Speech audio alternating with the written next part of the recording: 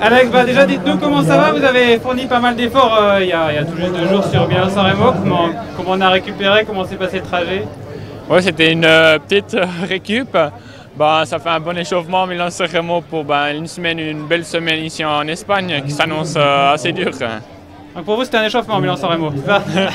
Ouais, plus qu'un échauffement, mais c'est passé beaucoup plus vite que ce que j'imaginais. En plus, avec mon équipier en échappé, c'était vraiment une belle journée, une belle expérience de, de faire euh, mon premier euh, monument de l'année, Milan San Remo en échappé devant.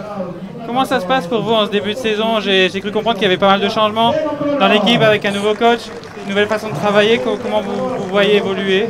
Oui, je, je suis vraiment content. La forme physique, elle vient de mieux en mieux. Le poids aussi, tous euh, commencent à se mettre ensemble. J'ai eu un petit souci à- sur les débuts des classiques, parce que je m'étais fissuré le coude.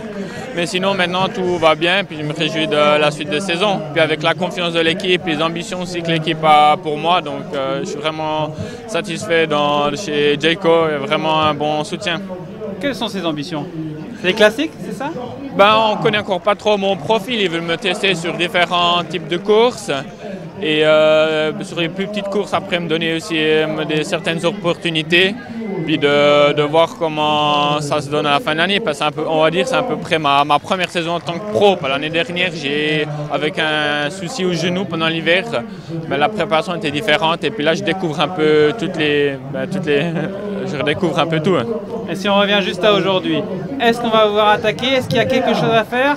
Ou alors on ne peut rien éviter, euh, on ne peut pas éviter le sprint? Aujourd'hui, c'est une étape assez compliquée. Quand même, ce ne sera pas un- sur un, une- un immense peloton à l'arrivée.